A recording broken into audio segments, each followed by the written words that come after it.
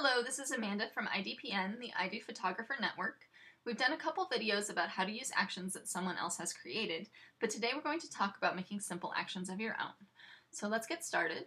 The first thing you need to do is make sure that you have your actions palette open. If you don't see it on the right here, you can open it with the window menu. We also need to have a photograph open in Photoshop to manipulate. We can't record our actions without something that we can act upon. That sounds sort of esoteric, but it'll make sense in a second. Now you can create actions that make your own creative ways of editing images, just like the sets you might buy from a third party, but I use them primarily to make Photoshop easier for me. So for example, there isn't a quick key to flatten an image. Um, so every time I've got multiple layers that I just want to make one flat image, I have to go up to layer, scroll down to flatten image, and it takes a lot of time. So I want to make my own action to make that easier for me. So in order to record ourselves flattening an image, we have to have layers to flatten.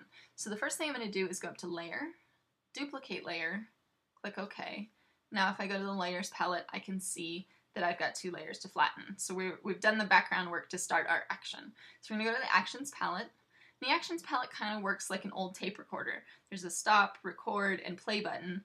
This button right here creates a folder of actions, and this button right here creates a new action. And you can see that if you hover your icon over it, it will tell you what it does. So we're going to create a new action, and it's going to walk me through things like the name, tell it to flatten image. We want it to be in my set of actions, not someone else's set. We're also going to assign it a function key because this is something that I use quite frequently. So now it's recording whatever I do. So if I go back up to layer, flatten image, As soon as it's done thinking, it has recorded that. You can see that there. That's all I want that action to do, so I'm going to click stop. So it's all I have to do now is say I've got a new layer, more than one layer. All I have to do is either highlight flatten image and click play. And now I've got no layers, or I can just hit the F key, F3, and it's played the action for me uh, once again. So actions like these are a great way to personalize your Photoshop and make it easier for you to use.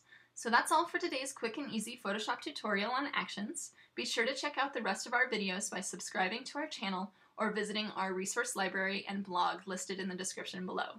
Thank you again from IDPN, the I Do Photographer Network, at www.idophotonet.com.